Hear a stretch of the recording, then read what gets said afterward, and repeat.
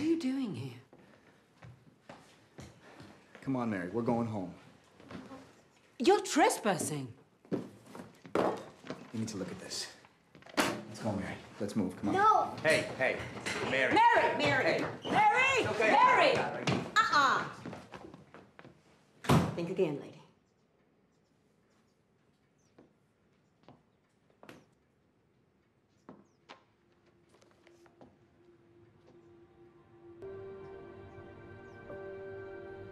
Mary.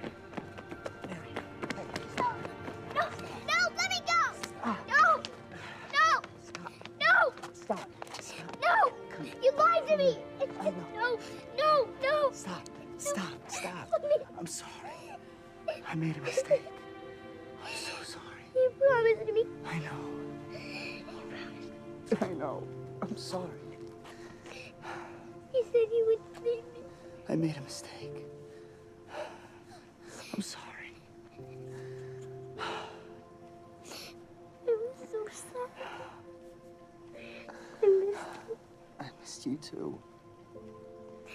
They took Fred. No. It's okay.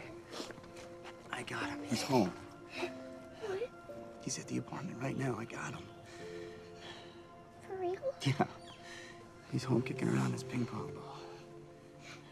Why did you leave me there? Because I thought I was bad for you. And then it dawned on me if Mary is this amazing, smart, sweet human being, then I must be doing something right.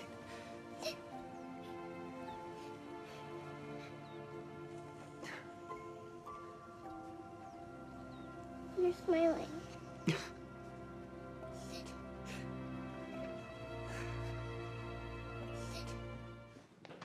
What is this? You want to know how Diane told me she What finished? is this unconscionable lie? I walked into her apartment and she was sitting on the floor with that baby in her arms. And you know what she said to me? Admit it. You made this She up. said, What do I do now? No, it is not a It completed is. proof. No, it isn't. It can't be. Evelyn, stop.